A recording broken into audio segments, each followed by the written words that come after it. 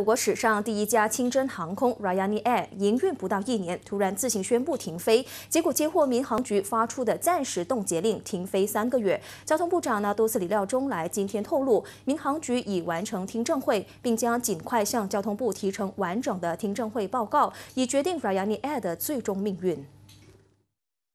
Once I look the report, then we decide whether we can allow Ryanair to continue with the. With the AOC license. So we will definitely look into Ryanair's uh, answers. Mm-hmm. Uh, we are not satisfied, then we have the right to uh, revoke his license. Okay.